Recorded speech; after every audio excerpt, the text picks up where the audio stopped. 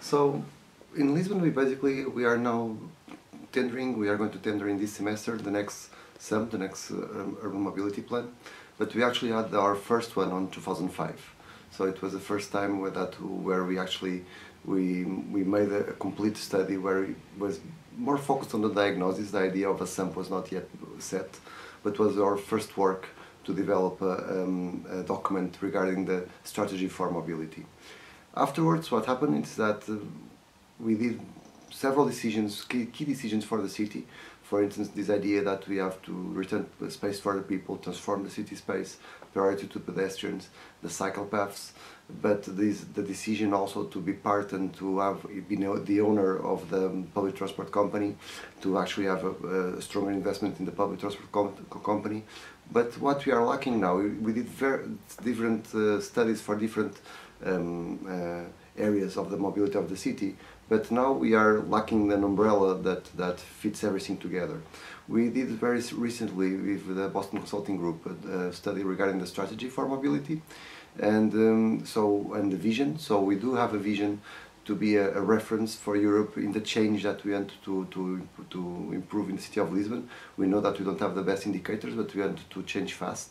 We, we, want, we want to come from 50% modal split to the car to 33% in a short time till 2030 and so this this means you know aggressive changes in the way that the city is organized in a more sustainable way.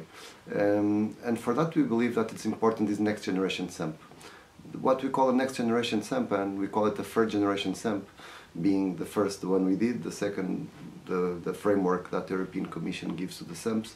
The third, what we want to do, it's more a dynamic tool. It's actually something that we can use it as a digital platform where we put the actions we want to do, the indicators that we want to achieve, and monitor also like an observatory and be a live tool and not exactly a document.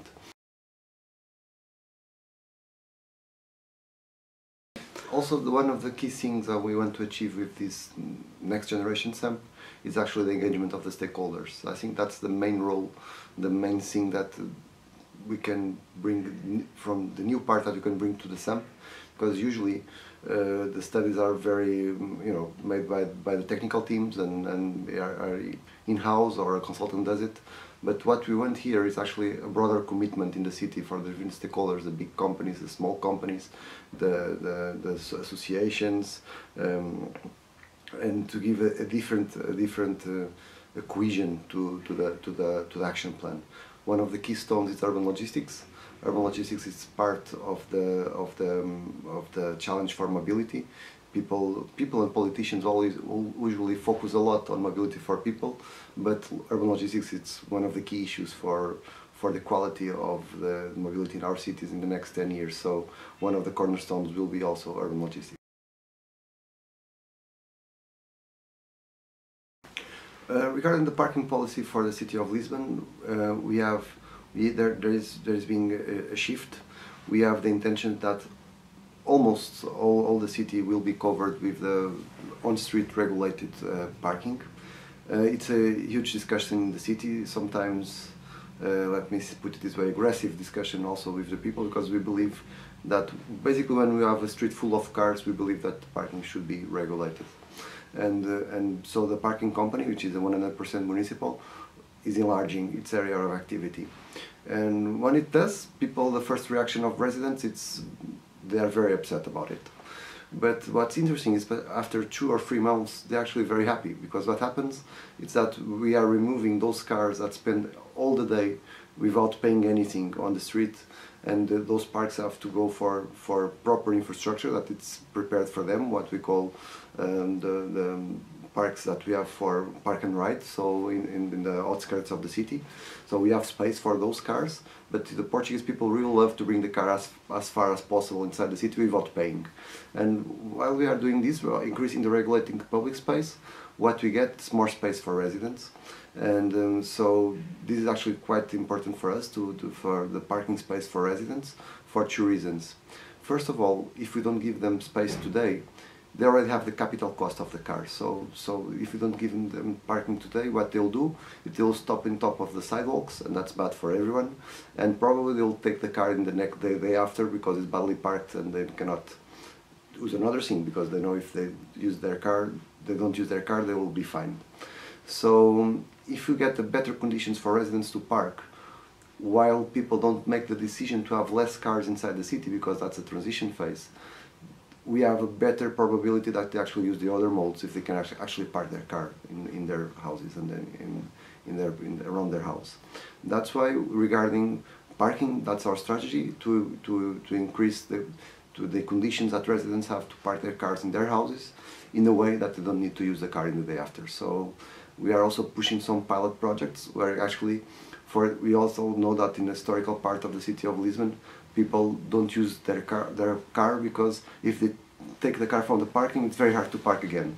So if they don't use the car why do they have it? And so we are trying to change we are we are going to allow them to park the car far away in the public park but we give we give them a, a, monthly transport pass in return and with that we free public space and we test the idea so these are the kind of concepts that we are pushing and also the finally we are increasing the value the value for parking for rotation for visitors because today it's cheaper to park than to go for public than going by public transport.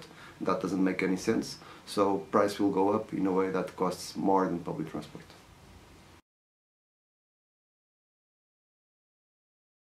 So the neighborhood program that we have, it's actually a, a, a, project where we want to increase the quality of public space in the neighborhoods. We want all the neighborhoods to have a plaza, and so we take space from cars and from parking to create that, that plazas. And it's a place where the kids can play, where people can get together, um, you can just be in the sun reading a, reading a book. And what is quite interesting, it's when you create these spaces, people actually fill those spaces. So sometimes there was a discussion, why are you doing that? No one is going there. No, people always go there. So people need those spaces. They are looking for those places. Um, and so we are we have a strategy to that every neighborhood in the city has this that's called facility but it's actually a plaza and also, what is very important, it's when you improve the sidewalks, when you improve the cycling conditions, uh, you also see a shift in the in the life of the neighborhood. The, the, the, the, commerce, the local commerce, you see now even those big shops that usually you are going to the shopping malls, they are now opening local shops where people actually walk or cycle to that shop. And that's, that's also a, different way of living in the city, and all of that brings an interesting reduction on the use of the car. And it's actually quite impressive that in our last mobility survey, the car finally stopped growing in the city of Lisbon, but we had a huge impact on the walking that doubled from 18% to 32, 46, 36%. Uh, and we associate that, this, the surveys have six years between them, we associate that to this shift of the facilities that we have for walking, walking in the city. Another strategy that we have in the city of Lisbon, and you know, the people speak about the light of the of the, the city of Lisbon, the riverfront, the, the proximity to the river. The issue is that we didn't have a proximity to the river because the, the river actually was formerly from the harbor. And so it was for industrial activity, for economical activity. And so there was a disconnection between the city and the river. Uh, that changed with the mayor Antonio Costa and it's kept changing with the mayor Fernando Medina. Uh, we did uh, very positive agreements with the harbor, and so all the areas that are not used used for for the shipping activity have been uh, delivered to the city for the city to manage. And with that, we improved a lot the quality of the public space. We create cycle paths, we create um, walking paths. Uh, we improve, we get, we improve the gardens, and so today you can actually uh, use the the riverfront to relax, to to to to walk, uh, and you know you go in the weekend, you go there, and it's full of people. So it's Lisbon always had a strong proximity with the water, and now that proximity it's closer. The biggest challenge that we have is what's the future of mobility? So uh, we, we have a very a very strong policy and we strongly believe that the public transport is the backbone of the, of the mobility system because only the public transport has the density to transport a lot of people in an organized way that makes the best of the public space. But we know that mobility is shifting. The connected cars, autonomous cars, the shared modes, the scooters, the e-scooters, the, the, the cars, the bicycles, and I strongly believe that there is a new role for cities that is to be mobility managers. And in the past, cities were basically infrastructure managers, and I think we have to do more. And to do more, we need a common language between cities, OEMs, mobility operators, um, and some bases of regulations that are more or less the same, and data protocols, so data exchange protocols, things like that. And this is a huge shift that many cities are not ready, even and at the at the human uh, human resources level. So it, this means new new capabilities. We have to capacitate our teams to do so. We have to change our organization, and I strongly believe that this is going to be the challenge for the next 10 years, both for cities but also for the industry. We are very proud to receive the Mobility Week prize because it's not about the Mobility Week, it's about what we do all the years and the past years.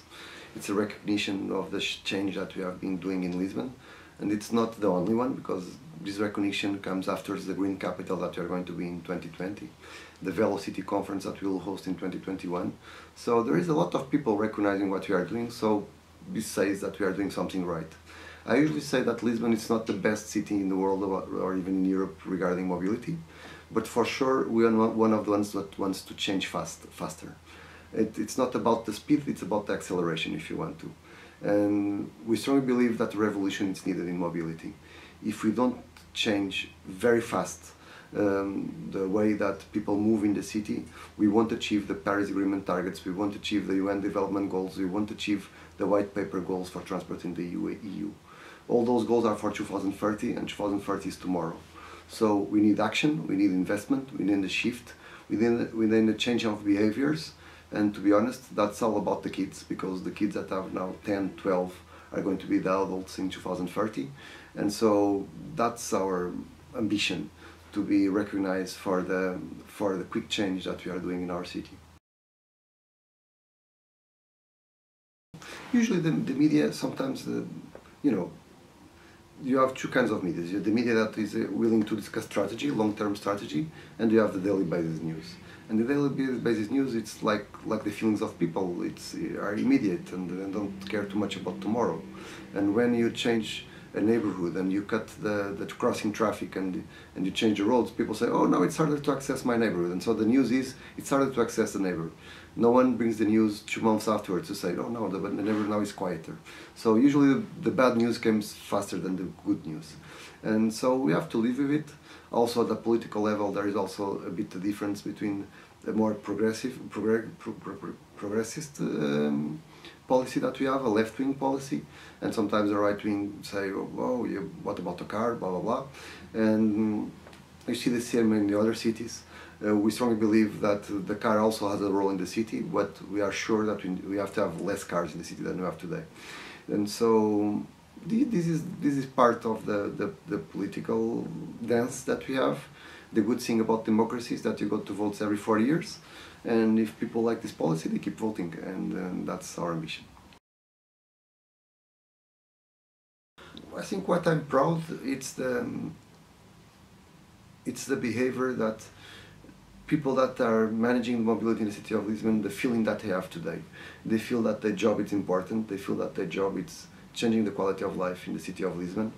Uh, they know that they can work together. I mean, the, the public transport company, the parking company, the city, the city officers, the municipal police officers.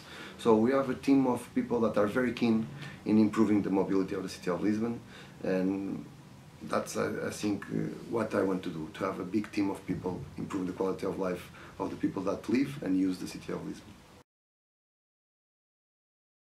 My message for other cities is that we need we need action. We need to act now. I know that uh, the context in cities is different. We don't all have the same resources, but there are small things that you can do. There are bigger things that you can do. But if cities don't change their quality of life, if, if they are not more sustainable, we will fail as society for the next generations to have a better quality of life. The change starts in cities and every city can do something about it.